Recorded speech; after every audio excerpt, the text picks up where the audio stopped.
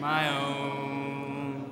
I will hide it in my heart that it never may depart. It shall rule there alone. The love of God within the heart will kindliness and warmth impart. The soul will glow like Jesus in his tender mercy. If the heart is made his dwelling place, the love of God glows like a flame through endless years. It is the same. The love of God will never fail nor lose its glory till we see him face to face. Since the Son of God came down with this love our lives to crown, he with us would remain. Greater love there could not be. Jesus died for you and me in our hearts. He would reign. The love of God within the heart will kindly kindliness and warmth impart. The soul will glow like Jesus in his tender mercy. If the heart is made his dwelling place, the love of God glows like a flame through endless years. It is the same. The love of God till we see him face to face. While his love burns true and bright, we are walking in the light. He has shown us the road. We his glory must reflect, lest our dimness and neglect keep some soul from its God. The love of God kindliness and warmth impart. The soul will glow like Jesus in his tender mercy. If the heart is made his dwelling place, the love of God glows like a flame through endless years. It is the same. The love of God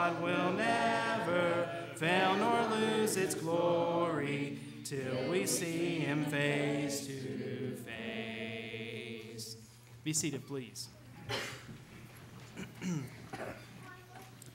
O oh God, you are my God,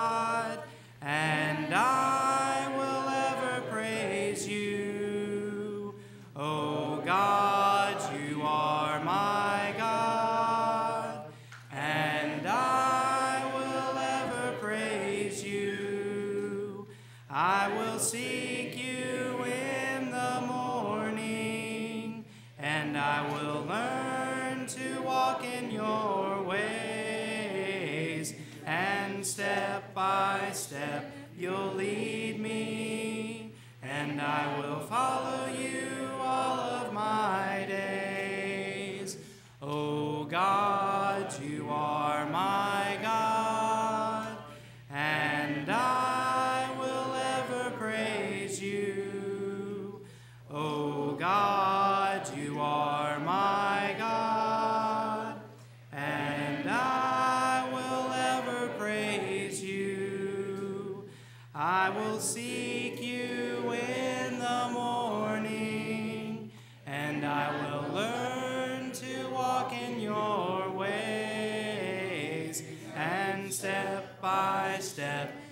lead me, and I will follow you all of my days, and I will follow you all of my days, and I will follow you all of my days, and step by step you'll lead me, and I will follow you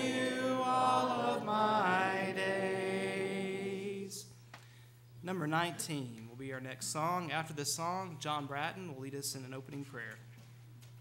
Number 19. Come, thou Almighty King, help us thy name to sing, help us to praise. Father, all glorious,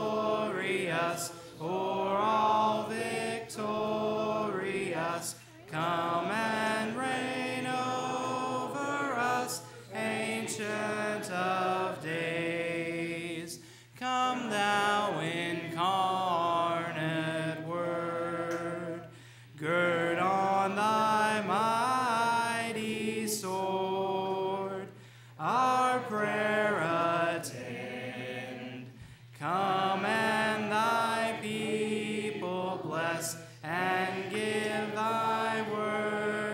success. Spirit of holiness, on us descend. To the great war. Let's try that again. My words in the book are different than the slide there. O Lord our God, to thee the highest praises be. Hence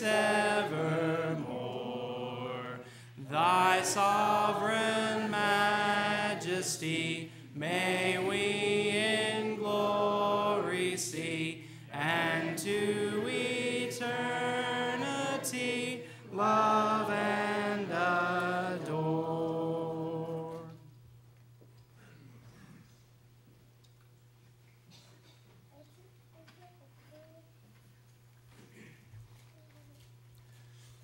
Your Father in heaven, uh, thank you for this time that you've given us to come together and uh, the worship service that we're getting to take part in.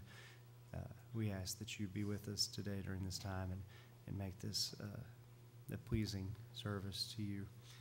God, we thank you uh, so much for the the weather, and I know we can tend to to think of it as a, an inconvenience sometimes that, that maybe we have to cancel plans because of the rain, but uh, we're so thankful for the rain um, and and what it's doing for the, the land here.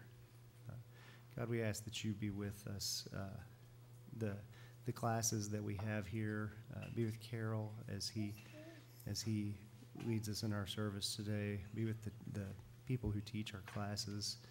Uh, we pray for our, our upcoming VBS, Lord, and that uh, that all of these things uh, will be uh, vessels to further your your will here in, in Wheeler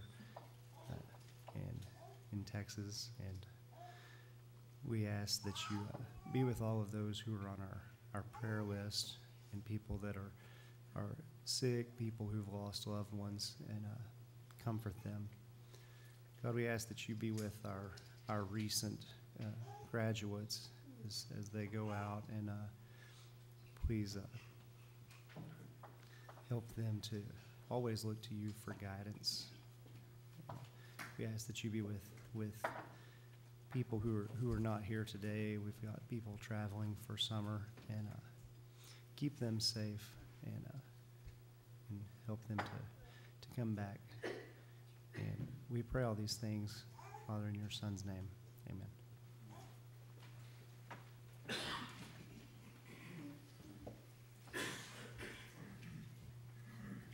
Our invitation song, if you want to mark it, is going to be 837. 837. We'll sing that after Carol's lesson. Before that lesson, we're going to sing Walking in Sunlight, number 611. And if it's convenient, let's stand for this song. 611.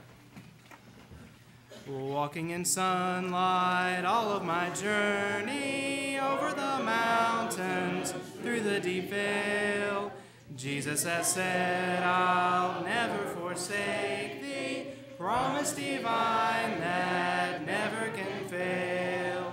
Heavenly sunlight, heavenly sunlight, flooding my soul with glory divine.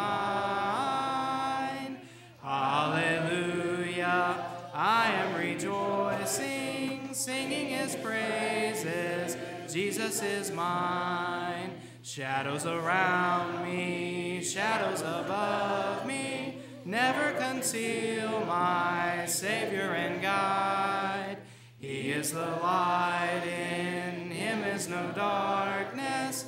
Ever I'm walking close to his side. Heavenly sunlight, heavenly sunlight, flooding my soul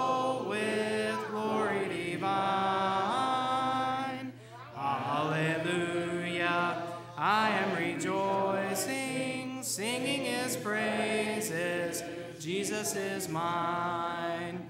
In the bright sunlight, ever rejoicing, pressing my way to mansions above. Singing his praises, gladly I'm walking, walking in sunlight, sunlight of love. Heavenly sunlight, my soul with glory divine. Hallelujah, I am rejoicing, singing his praises. Jesus is mine. Be seated, please.